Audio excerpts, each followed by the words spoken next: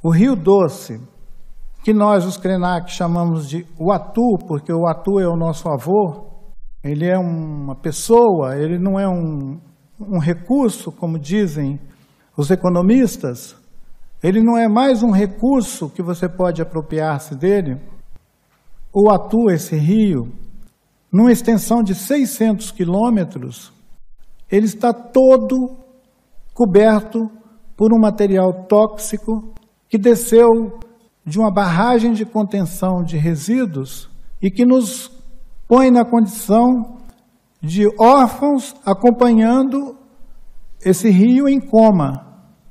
E que quando nós falamos que o nosso rio é sagrado, as pessoas dizem, isso é algum folclore deles. Quando nós dissemos que a montanha Tacrucraque, ela tem humor, que ela está nos mostrando que vai chover, ou que esse dia vai ser um dia próspero e vai ser um dia bom, eles dizem, não, mas uma montanha não fala nada.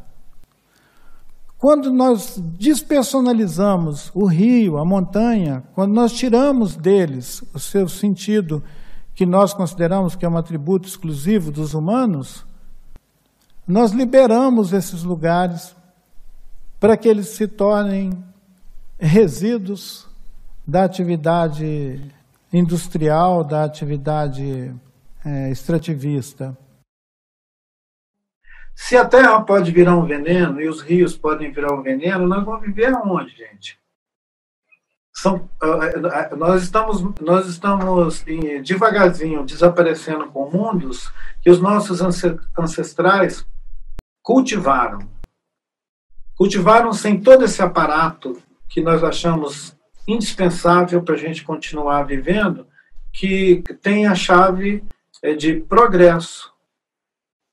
O, o nosso xamã Yanomami, o Davi Kopenawa, faz uma crítica muito clara a essa tendência da civilização ocidental, a essa fúria da civilização ocidental com relação a uma nova mercadoria a cada instante. Uma nova mercadoria. A cada hora, a cada momento, tem que ter uma nova coisa para nos entreter a experiência que os povos que vivem dentro da floresta, que vivem na natureza, estão sentindo na pele, vendo suas florestas desaparecer. Quando ele sai para caçar, ele tem que caçar muito mais longe, ele tem que andar é, dias para caçar. Uma espécie que aparecia ao redor da aldeia e que convivia e habitava aquele lugar com eles, compartilhava aquele lugar com eles, agora sumiu e parece que quem vive na cidade é, não experimenta isso com muita frequência, porque a cidade ela é tão artificial que tudo parece que tem uma existência automática. Você estende a mão, tem um pão, tem uma padaria, tem uma farmácia, um supermercado, uma drogaria, um hospital, e é, na floresta não tem esse, essa substituição da, da vida.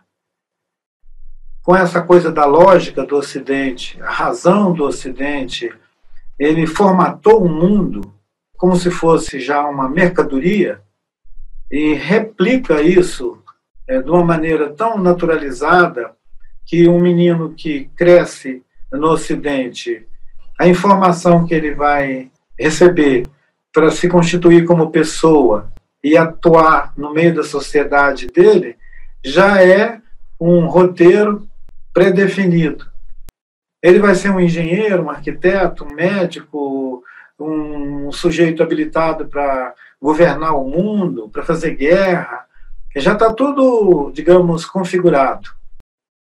Esse mundo pronto e triste, eu não tenho nenhum interesse nele. Eu não tenho interesse em adiar ele. Porque a vida não tem utilidade nenhuma. A vida não é para ser útil. Isso é uma besteira. A vida é tão maravilhosa que a nossa mente tenta dar uma utilidade para ela. A vida é fruição. A vida é uma dança. Só que ela é uma dança cósmica. E a gente quer reduzir ela a uma coreografia ridícula e utilitária. Uma biografia Alguém nasceu, fez isso, fez aquilo, cresceu, fundou uma cidade, inventou o Fordismo, fez a revolução, fez um foguete, foi para o espaço. Tudo isso, gente, é uma historinha tão ridícula. A vida é mais do que tudo isso. Nós temos que ter coragem de ser radicalmente vivos e não negociar sobrevivência. Se a gente continuar comendo o planeta, nós vamos todos sobreviver um dia.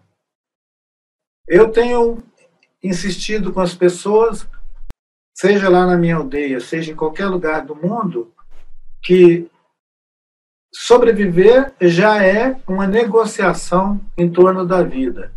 E a vida é um dom tão maravilhoso, mas nós somos o tempo inteiro é, cobrados a fazer coisas úteis. Nós estamos aqui para fluir a vida, experimentar a vida. E quanto mais consciência a gente despertar sobre a vida, mais a gente experimenta ela.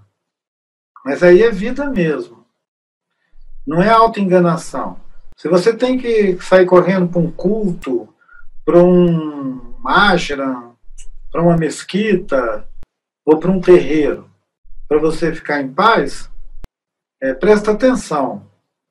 Porque isso aí pode ser só um exercício. Parece que não vai ser muito bem o que você está pensando, não.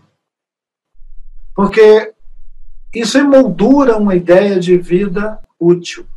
Emoldura. Esses povos originários, eles estão ainda presentes nesse mundo, não porque eles foram excluídos, mas é porque eles escaparam. Eles resistiram com toda a força e coragem para não ser engolfado por esse mundo utilitário. Então, não, não escapar dessa captura é que cria aquele lugar de silêncio. Porque ele é um silêncio interior. É um, uma experiência de continuar uma existência que não se rendeu ao sentido utilitário da vida. É viver a experiência. Tanto a experiência do desastre, quanto a experiência do silêncio. Porque às vezes nós queremos viver a experiência do silêncio, mas nós não queremos viver a experiência do desastre. E por isso que eu disse a vocês que os Krenaks decidiram que nós estamos dentro do desastre. Não precisa ninguém lá tirar a gente. E nós vamos atravessar o deserto. Tem que atravessar o deserto. Aí. Toda vez que você vê um deserto, você vai sair correndo. Quando aparecer um deserto, atravessa ele.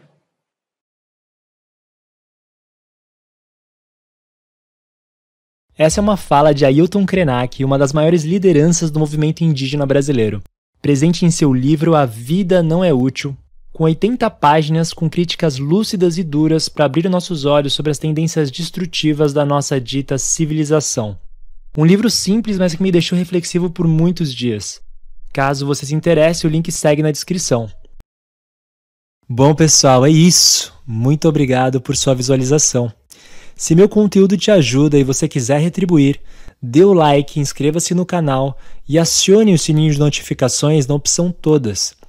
Caso você queira um vídeo personalizado como esse para sua empresa com a minha voz, me contate em eurekasobdemanda.gmail.com. E caso queira nos ajudar um pouquinho mais, contribua com a nossa campanha de financiamento coletivo no Apoia-se clicando aqui. Obrigado de novo e a gente se vê em breve. Um abraço.